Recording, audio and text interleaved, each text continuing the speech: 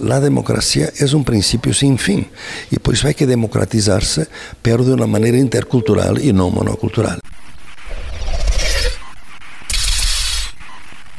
Bueno, primero, muchísimas gracias. Eh, tratar de entender en las democracias cómo funciona esta palabra que usted habla, epistemicidio, en la lógica de construir democracias muy limitadas y solo para unos pocos. No, epistemicidio es la noción de que hay una pérdida enorme, una destrucción de conocimiento cuando nosotros uh, partimos de la idea que hay solamente un conocimiento válido y que en este caso es la ciencia eurocéntrica, ciencia moderna eurocéntrica. Claro que la ciencia moderna es válida, tiene su validez dentro de sus límites, pero hay otros conocimientos. Y nosotros en la universidad, en los centros de investigación, habemos desperdiciado toda esa riqueza de conocimiento social. Parte de ese conocimiento es un conocimiento sobre modos de deliberación, de discusión, eh, que podríamos decir que son plenamente contributos a la democracia y que han sido dejados de fuera precisamente porque tenemos un concepto monocultural de democracia muy individualista y que viene de la teoría liberal de la democracia muy eurocéntrica.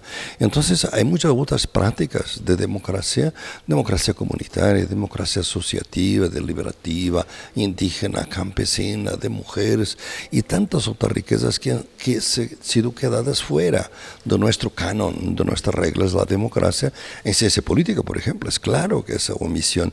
Entonces yo hablo mucho de la demodiversidad.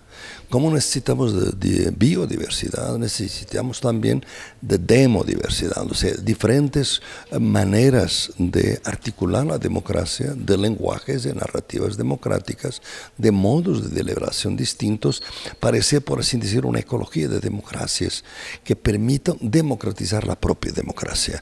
Porque hay democracias que no simplemente van para el espacio público de la ciudadanía, sino también para el espacio doméstico, para el espacio de producción para el espacio comunitario, el espacio del mercado. Entonces, la democracia es un principio sin fin y por eso hay que democratizarse, pero de una manera intercultural y no monocultural. Es eso la idea de eh, crear una demodiversidad.